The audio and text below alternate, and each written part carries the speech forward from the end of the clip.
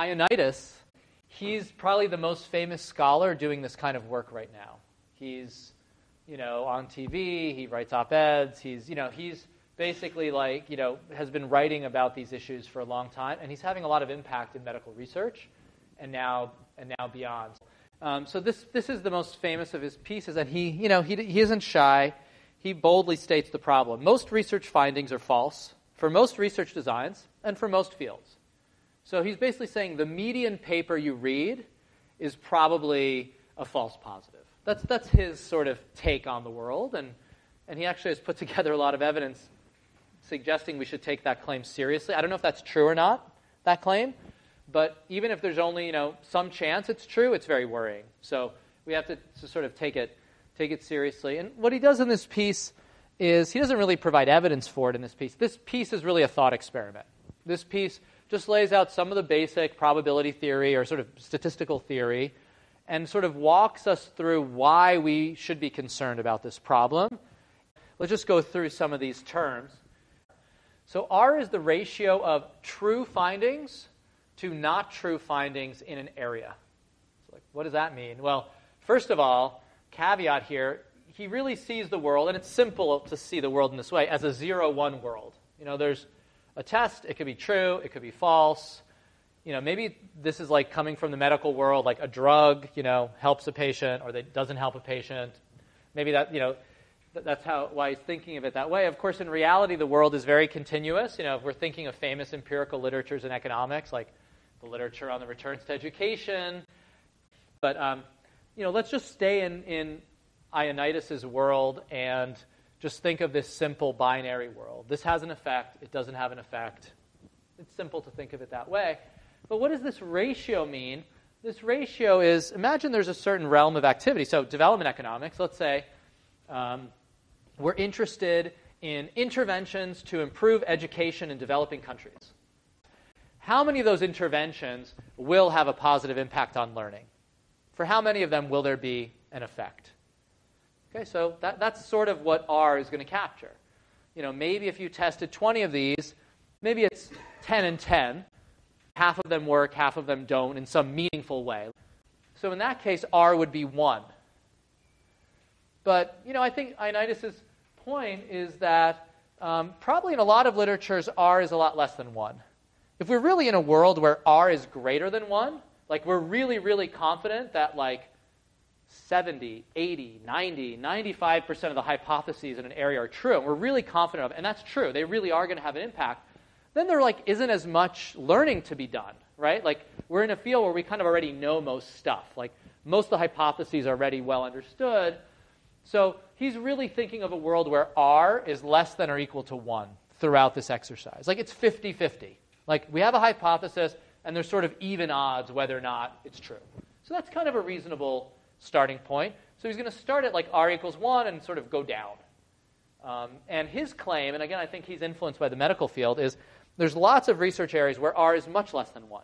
So in the medical research field, recently, where there's been massive mining of genomic data and just tons of really, you could say, undisciplined exploratory analysis about what the correlations are between certain genes and certain diseases, where they're like, thousands and thousands of possible gene sites and hundreds of diseases, people are just running tons of tests.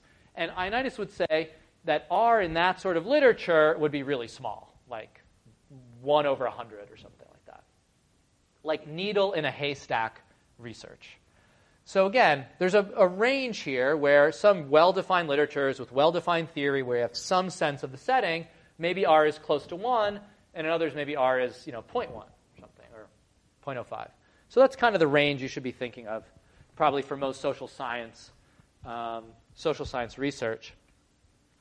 Uh, and then, you know, if you just do the algebra, like in, in, terms of converting these little R1, you know, R1 and R naught into R, you know, the sort of fraction of true relationships overall is big R over R plus 1. So that's going to be a really key term for us.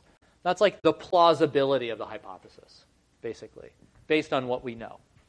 The other thing that's going to be very important in thinking about how to interpret a research result is the probabilities of different types of errors. So there are type 1 errors that we care about. false positives.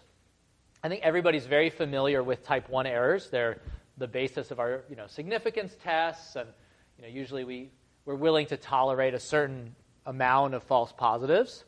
Um, you know, typically 5%.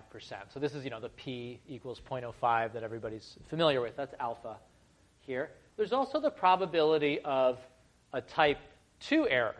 So not a false positive, but you could think of it as a false negative. Like there is a relationship, but you don't find it. So there is a significant effect here, but maybe your sample size is too small, maybe there's a problem with the design, whatever, and you don't detect, you know, the, the test suggests there's no effect, but there really is an effect.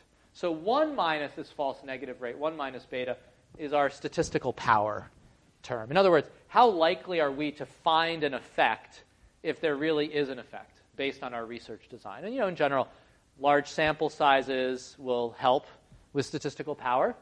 Um, just because there's less sampling variation that comes into play. Basically, if you have a small sample, there's lots of sampling variation, and um, you can't say very much. If you have a sample of four, you know, God knows what the data is telling you. If you have a sample of 4,000, then, then maybe some of the noise evens out. The conventional wisdom for those of you who have or will design field, field experiments or lab experiments, the ideal, if you're putting together a proposal for the U.S. National Institutes of Health, they want to see power calculations where you claim you are powered to 80%. They want to basically see what sort of effect size you know, you could legitimately estimate or you, would be, you'd expect to be able to detect with 80% power. That's like the rule of thumb power. Now, in reality, when people have checked the amount of power in actual designs, often empirical studies have much less than 80% power, even funded experiments. Probably a pretty decent study has 50 or 60% power.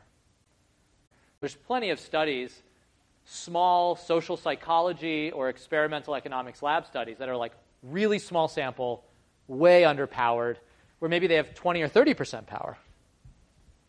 Okay, so the, probably the reasonable range in most social science research, I don't know, making it up a little bit, is like 20 to 80% power.